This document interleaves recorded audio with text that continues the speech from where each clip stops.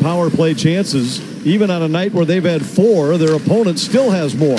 And Raymond cashes in on the cross ice pass from Larkin. And on the fifth power play opportunity tonight, the Red Wings cash in for the first time. And it's now five to three. Well, the difference is is probably how fresh the players are, Anthony. This Detroit power play had tried to go through the box the first couple periods, and all it resulted in were two on ones and breakaways the other direction. Now having to kill their fifth, they're a little bit taxed, a little bit tired. The box opens up, they're able to hit a seam, and Raymond gets the one timer. One knee down, Brett Hull like, back of the net, and Red Wings are within two.